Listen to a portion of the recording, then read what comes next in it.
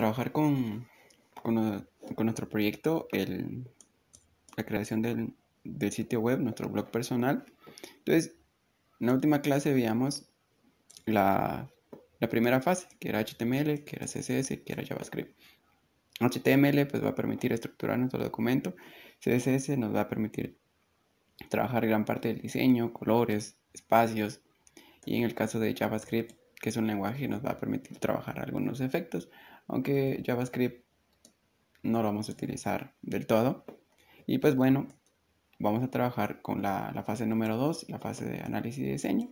Entonces necesitamos eh, trabajar como el diseño, la estructura de nuestro sitio, que va a ser eh, un pequeño blog que va a tener artículos. Entonces, y por último, pues ya vamos a, vamos a ver la, fase de, documentación y la despliegue para la, para la próxima clase. Pues bueno, el resultado final, el resultado final de nuestro sitio va a ser el siguiente. Tenemos nuestro sitio web. Eh, aquí tenemos el ejemplo de una entrada o la menor sección, la fecha. Y también tenemos aquí otro ejemplo y pues podemos tener eh, tantos artículos como, como querramos.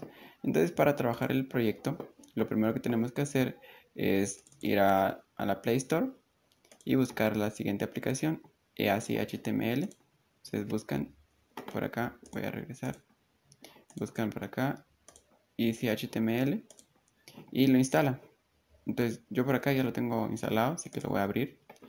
Entonces, les va a mostrar, eh, cuando ustedes lo abren, les va a mostrar tres tres opciones, el editor de, HTML, eh, un sitio para, pues, para aprender, algunos tips y también un, viewer, un visor, un navegador podríamos decir que nos va a permitir ver eh, los sitios web.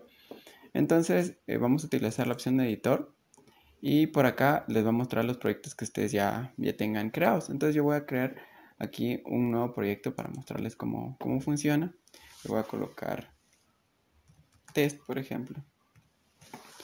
Y el proyecto, la aplicación en automático les va a crear tres archivos. Un archivo HTML, un archivo JavaScript y un archivo CSS. Eh, aquí lo único que tenemos que hacer es colocar el nombre y darle guardar. Eh, una vez pues ya lo, ya lo guardamos, abrimos el, el proyecto, le damos.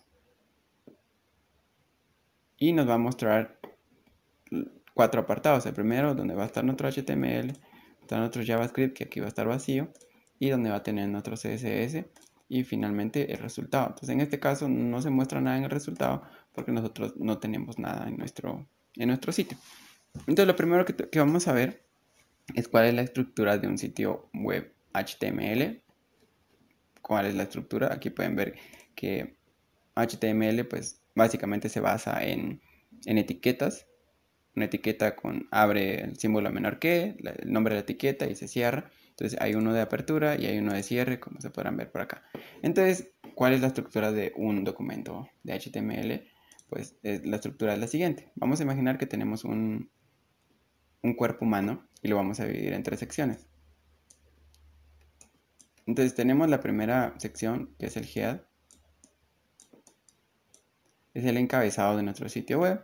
Y Luego vamos a tener el body, que va a ser el cuerpo.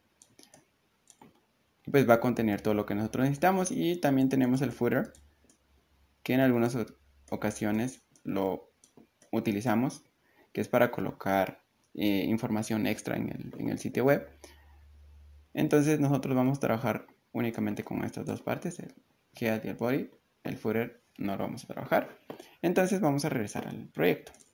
Regresamos al proyecto y aquí tenemos eh, nuestra primera etiqueta, que es HTML, y tenemos nuestra etiqueta de cierre HTML. Entonces, aquí tenemos el head, que es decir, el, encabezado de nuestro sitio web, el nombre del sitio, y pues bueno, aquí nosotros vamos a colocar nuestro, nuestro código que realmente nosotros necesitamos mostrar. Entonces, les voy a mostrar una etiqueta que se llama H1, que es para colocar títulos. Entonces vamos a colocar H1, cerramos, y aquí la herramienta nos ayuda a realizar la etiqueta de cierre. Entonces todo lo que esté dentro de la etiqueta es lo que se va a mostrar. Entonces, por ejemplo, mi primer sitio web.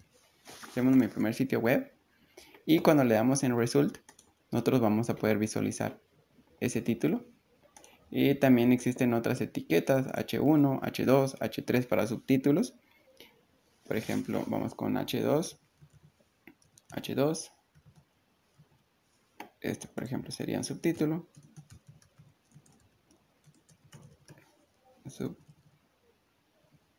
subtítulo, también vamos a tener, por ejemplo, una etiqueta para colocar párrafos, que es la etiqueta P de párrafo.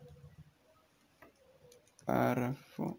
Y aquí vamos colocando, pues, datos. Bueno, lo vamos a ver en el resultado. Y aquí podemos ver el título, subtítulo y, el párrafo. Pues bueno, eso es lo que hacemos en HTML. Si se dan cuenta, cuando trabajamos con HTML, eh, nuestro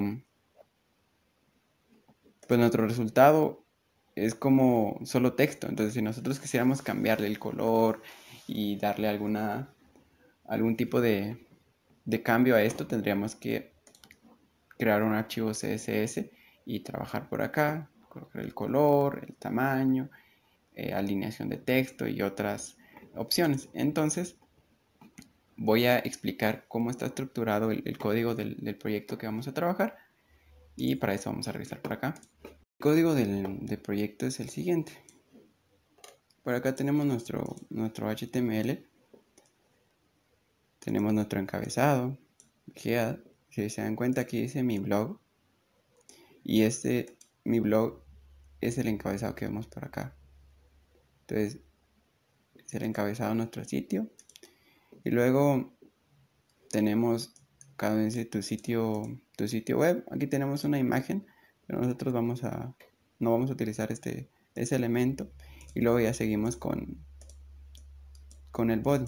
Aquí, si pueden ver el body, apertura, cierre. Y luego tenemos una etiqueta aquí que se llama principal.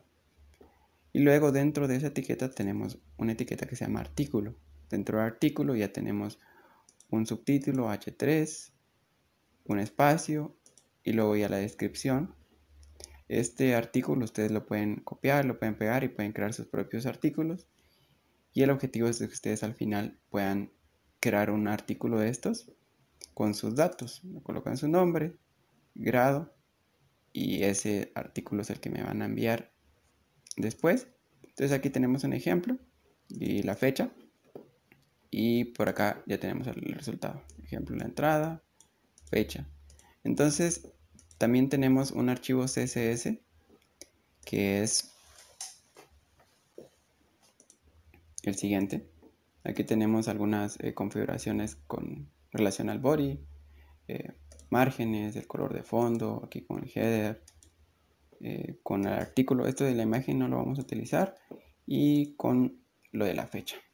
Y ese básicamente es la estructura. Entonces, una vez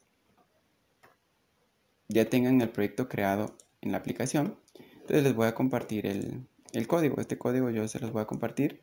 Lo que ustedes van a hacer es copiar el código, irse a su aplicación y vamos a borrar todo lo que está aquí.